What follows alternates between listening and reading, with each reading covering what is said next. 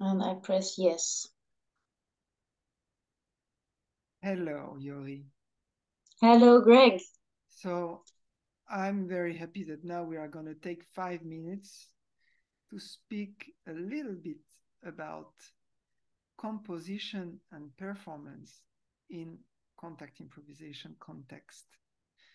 And, yes. Um, this is deeply related to the workshop that we're going to give in three weeks in Vienna uh, together. Uh, we already worked on this topic together in together and also in different situations on your own on my own and i would like to ask you questions uh, so people who would be interested can know a little bit more about your work and our your view of the work so Jori can you tell me uh, where this idea of working on composition and performing uh, in a performative context in contact improvisation come from what it is about? I think, yes, I think first of all, what comes to mind is my work with Kirsty Simpson and Andrew Harwood uh, for some years, who always, they are both contact uh, performers and teachers, and they always include contact improvisation into the performative um, expression, so to say.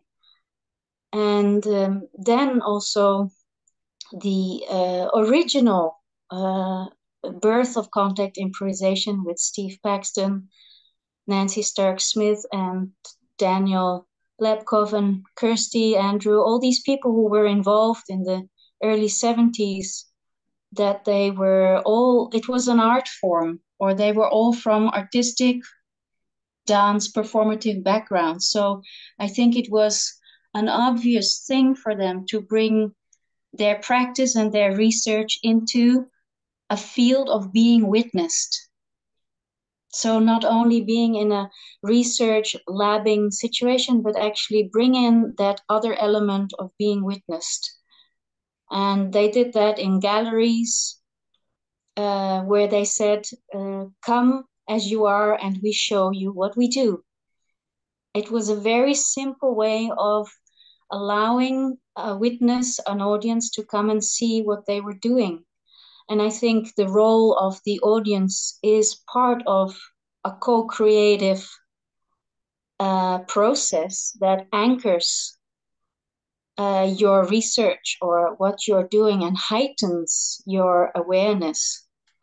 And I think they also wanted to test test their own you know capacity to stay in but i can't speak for them but this is what i find very interesting in what we are going to work together on is how can you be completely in tune with yourself while being observed without having to go into performing or uh, feeling that you have to be extra in some way or theatrics or whatever comes up in this in this nervous system of ours when we are being observed. So but at the same time your your question why i find it so fascinating or interesting and i think we both do is that i think it is a crucial element of the practice it heightens our attention and our awareness and our potential also. What do you think? So, I mean, um, what it gives, I could talk about it, but because I want us to be short and uh, I would like to reflect back on what you said before mm-hmm. uh, about the origins and where it comes from and about how you have been working with those people who have been performing in the 70s uh, very closely. Uh, myself, those people, I just experienced them in, in workshops. So week long or weekend, but I didn't work intensively as you did. Nevertheless, I've been seeking on my own with the people, those people that I met, I've been asking them, how was it? uh, how did you how did you uh, create this together? Were you meeting regularly? Were you traveling together? Where this idea came from? Uh, how did you experience that? And so I've been listening to different stories, but the reason why I, have been going for this because I, since the beginning I'm practicing dance and contact improvisation. I was deeply interested in this field. I wanted to know because I didn't meet with this. I never had a clear experience of it.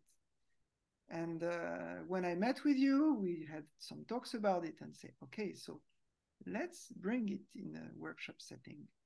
And mm. we started, I think the first time it was maybe three or four years ago. Yes. And um, and maybe yes, just to wrap it up, like we have this common interest and this. Yes, and if I am, am allowed to say, I really love your somatic approach, which really deepens that rekindling or connecting to oneself and one's sensorial experience as a, a value in being seen as well. Yeah. and letting it develop into this unknown field that the space holds when we are creating a performance with it. Very good. You are taking thank you thank you for thank you so much and i look forward yeah, to our as well. Yes. So you see you can also uh, present in this video the other side of how what is my approach.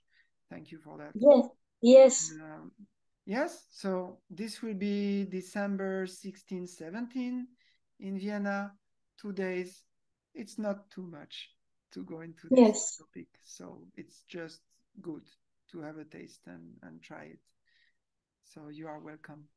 Thank you. Yes, I look forward to it. Thank yeah, you too. Bye. Okay, bye.